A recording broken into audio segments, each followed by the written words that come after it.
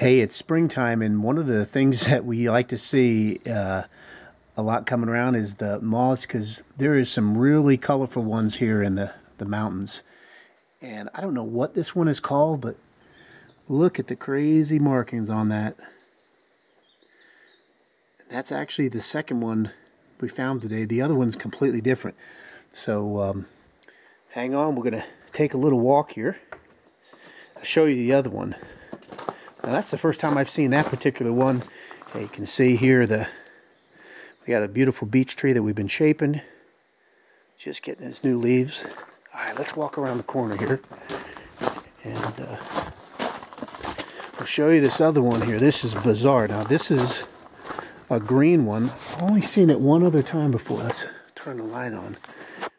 Take a look over here in our shop. And this one Hey, just to give you an idea how big this is too. Look, I want to just put my hand down here for a second. See if I can hold that cap back. Look at the size of this thing. That is just amazing. And I don't know what this part is called, but this right here, that little brown, I'm going to try and get a little closer here. This looks like little leaves. But isn't that a cool moth? Man, I've seen moths before, but nothing like these guys. These are just amazing. So, all right, we'll see y'all later. Have a great day.